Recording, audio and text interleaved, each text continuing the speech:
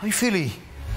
Ó, o Hospital de Trauma ampliou o número de leitos específicos para Covid-19. Me dá Everton correr com essa daqui, enquanto eu me recupero. Cadê Everton, hein? Finalzinho do mês de maio já havia instalação de novos leitos aqui para esses cuidados com a Covid-19 no Hospital de Emergência e Trauma, só que a partir de amanhã aí tem um novo reforço de leitos, não só de, de decisão clínica, mas também de UTI. O primeiro piso do hospital foi mobilizado, a parte administrativa mobilizada para essa estrutura aqui ao lado para que desse acesso a obras para iniciarmos o atendimento de paciente Covid no primeiro piso.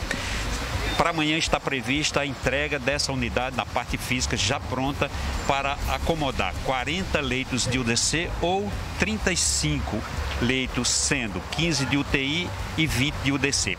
Essa unidade UDC são leitos perfeitamente mobilizáveis para atendimento em terapia intensiva, depende da necessidade do momento.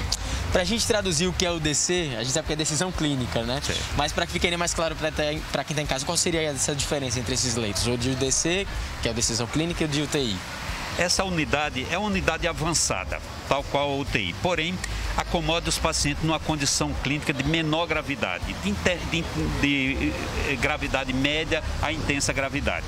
A importância dessa unidade, UDC, Unidade de Decisão Clínica, é justamente pelo fato de que, no momento em que precisar assistência em terapia intensiva para esses pacientes, será prestada exatamente no momento onde se encontram. Como é que a gente está em relação ao nível de ocupação no hospital de trauma quando o assunto é Covid-19?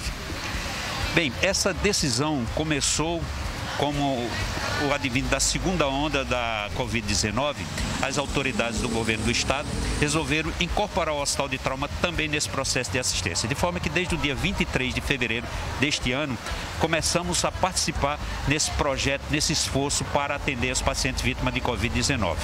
Hoje, nós estamos com a capacidade dos leitos de UTI para Covid-19 completa, ou seja, 24 leitos estão todos ocupados, porém temos 65% de ocupação dos leitos de UDC, o que nos dá uma certa folga, uma vez que repetindo, esses pacientes que estão nessa unidade UDC, que precisam de terapia intensiva, receberão no mesmo local onde, onde se encontram.